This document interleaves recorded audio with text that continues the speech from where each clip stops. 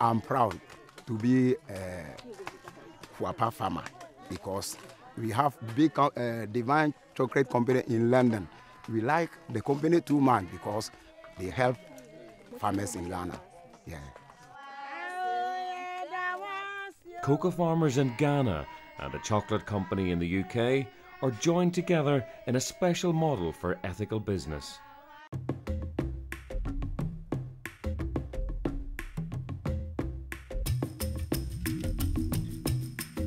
We can only achieve the mission of improving the lives of cocoa farmers by actually running a profitable company. The more chocolate that we turn over, the more cocoa we buy from them, the more they benefit from it. In this unique situation, poor farmers in Ghana can influence executives in London, which paves the way for better working relationships between Europe and Africa. The whole concept is to bring development down to the farmers in their country so that they can empower themselves economically, politically, socially, culturally.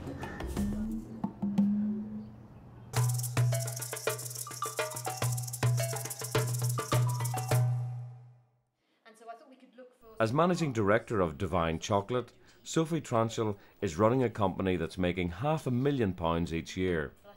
It's tough trying to stay afloat in an industry that's dominated by massive international companies. But Divine is very different from the standard business model of a results driven, profit making company. Divine Chocolate is a social enterprise. That means it's a mission driven business. And so, what we are first and foremost is a chocolate company, which sort of the name gives it away. Um, but our mission is to improve the lives of cocoa farmers in West Africa by establishing a dynamic brand in the UK market, which will then put the farmers higher up the value chain. In the remote but extremely fertile forests of Ghana, Daniel Apia Kubi is one of these cocoa farmers. He earns around $2 a day from the sales of his crop, and most of the villagers he works with have never tasted a bar of chocolate before. Cocoa farming is not easy. Sometimes you can face many problems, even when when cutting, when plucking the cocoa, you can see a big snake, or if you can be damaged. It's very, very, very hard work. It's very tedious, very hard. Yeah. Daniel is a member of a farmers cooperative called Kuapa Kokoo. Everyone in his village society works together to harvest each other's crops, which increases productivity and leads to higher revenues for his whole village. That uh, cooperative is a good thing for me because we are two, we are, uh, we are so many. So if we go to pe one person's farm, within one day we finish all the work. If I and my wife are doing this work, it will take us almost two weeks or three weeks. That's why we have come together so that we are helping ourselves. Yeah. Has 45,000 farmers in 1,300 village societies across Ghana.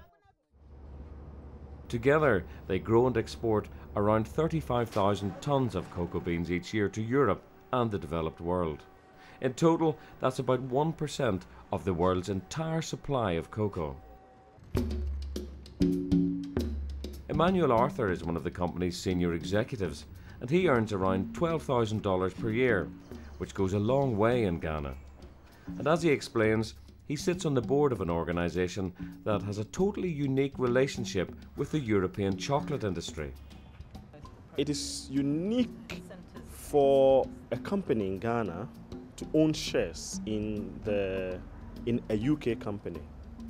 But what is even more unique is the fact that ordinary farmers, cocoa farmers, are the owners or or are the shareholders of that company. That means they have a real say in how the company is run. They have seats on the board, so they have access to all the papers and all the decision making. They have influence how the product is marketed, and then they get a share of the profits. So far, the farmers have received three dividends, which is when a company pays out a share of profits to its shareholders. As the first dividend, they all decided to take a token payment of $1 per farmer.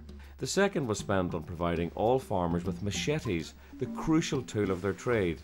And the third was spent on expanding the company to the American market, which they hope will make for higher revenues and more dividends for them in the future.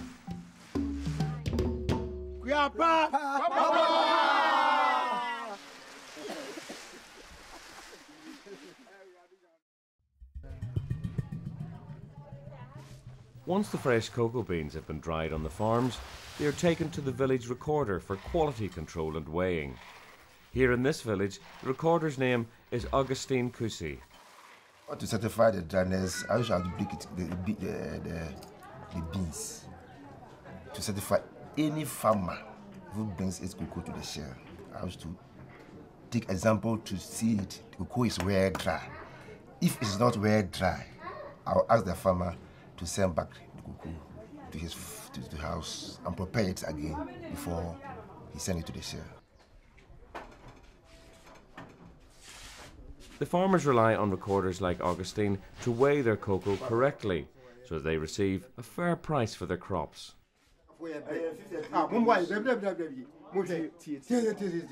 Fifty.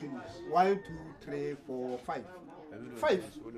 Uh, five. Uh, so what about crab? What about crab? 54. 54. No, what about now? Okay. 53. I can assure you that you have very, very good skill because some of the companies actually, and well, I'm not, I'm not saying we are, we are the best, but I can say that we, Kuapa skills is very good. uh, olden time when we sold our cocoa to other companies, they cheat us, uh, weighing by scale adjustment and other so forth and so on. But as Kuapa, we have free scale. So uh, uh, when a farmer comes and he see what is going on, he, he became very interested. So every time he brings the cocoa to Kuapa because there is no cheating. Since Augustine is appointed by farmers like Daniel, it is in his interest to keep his scales well balanced. If he doesn't, he'll be voted out of his job, which means taking a pay cut from four down to two dollars a day. Back in London, the team are working tirelessly to keep revenues coming in. Okay, we're um, doing really well on Twitter. If you type in chocolate into Twitter, then you find that we are number five on the searches. So that is fantastic. One of their most important activities is marketing to maintain their presence in the minds of consumers and keep pace with the competition. An MD on a in a small company sort of does nearly everything, I think, um, and certainly I'm no no different in that respect. You've got to make sure that your marketing works and that people have heard of the product so that they can go into the shops and buy it. You've got to make sure that the sales team work and that you're managing to optimise the sales opportunities. And the team have one very important advantage to boost their sales figures. Their product carries the Fair Trade seal of approval. Where, where fair trade has had a big success with big companies in bananas and in coffee and in chocolate, they've actually not had a big success in tea. So none of the big Many of the products that we enjoy in this country, such as tea, coffee, cocoa, fruit, cotton, um, are produced by farmers in the developing world and they're not paid a great amount for what they actually do and what they produce. The Fair Trade system is all about fair play, where Western companies offer a better deal to producers in the developing world. In Ghana, farmers are paid a guaranteed minimum price for their produce, and there are harsh penalties for any companies that aren't playing by the rules.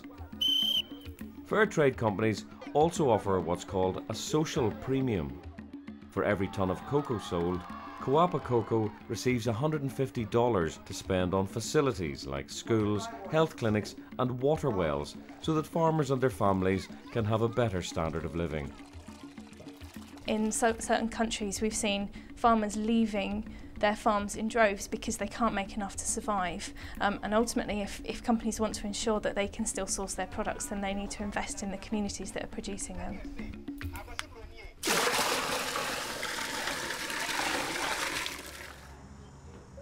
Fair trade is also a way for large companies to make sure that they get the highest quality raw materials. This seal shows that this cocoa has been certified by the quality control people. So after they have tested the cocoa and see that the cocoa is, the beans are good, it's one of the best cocoa in the world. You can even chew it raw because it tastes good. More and more companies are joining the fair trade movement, and now the chocolate giants Nestle and Cadbury have announced that they're going fair trade as well. Most of you might know Cadbury because um, it was first established in Bournville in Birmingham and now we operate in 60 countries across the world and uh, 45,000 people work for Cadbury and last year just to give you an idea of our, our financial size our revenues were 5.4 billion pounds. On average we sell about 300 million bars of Cadbury Dairy Milk um, a year so and, and they all carry the fair trade mark so um, it's great news that lots of new consumers will now be able to easily buy fair trade and, and support the fair trade movement. Our USP is that we have an amazing range of fantastic chocolates and that we're farmer owned. We're also fair trade. One of the things we'd set out to do when we started 10 years ago was to change the way the industry works so that farmers could get some more of the benefits. So we're delighted that Cadbury's has made this change to Cadbury's Dairy Milk. So they've only changed one of their products. We'd love to see them change everything because that would obviously deliver more benefits to farmers. And certainly we feel as if um, you know, Cadbury's has got a way to go before they're putting farmers on the board and sharing the profits with them. This is just the beginning of our journey. We've chosen to take our biggest brand, Fair Trade. We haven't taken a niche brand, Fair Trade. We've gone with our mainstream chocolate bar.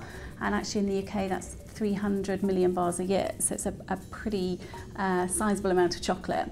And we're actually tripling the amount of cocoa out of Ghana that's Fair Trade now.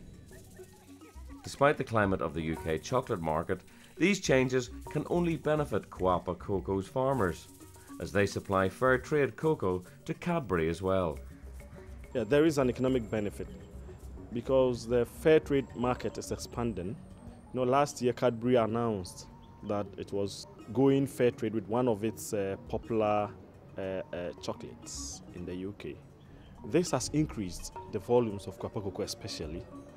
And last year we sold 7,000 tons.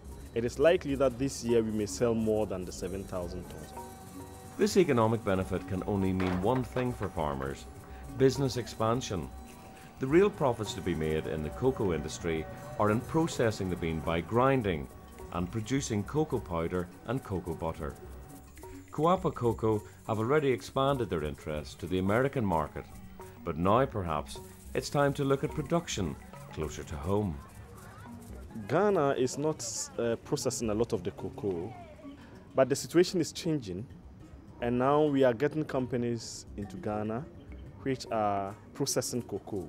Last month, ADM Cocoa opened the factory in Kumasi here to process cocoa and export the butter, the liquor, and the powder to uh, outside Ghana. Companies like ADM grind their cocoa in Ghana to make it easier to export, and the money follows the product back to the developed world, where big organisations like Cadbury have been in business for over a hundred years. But could it be possible for companies in Ghana to start manufacturing themselves, so that people like Emmanuel and Daniel can increase their own salaries and ensure a larger slice of the profits from their own cocoa? I think you will see more grinding happening in Ghana.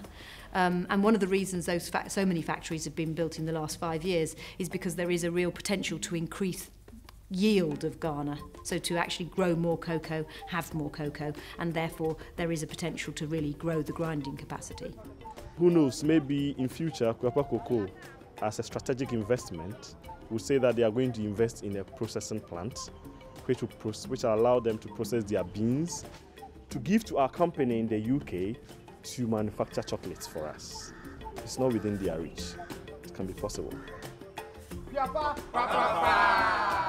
Papa! Papa! Papa! Papa!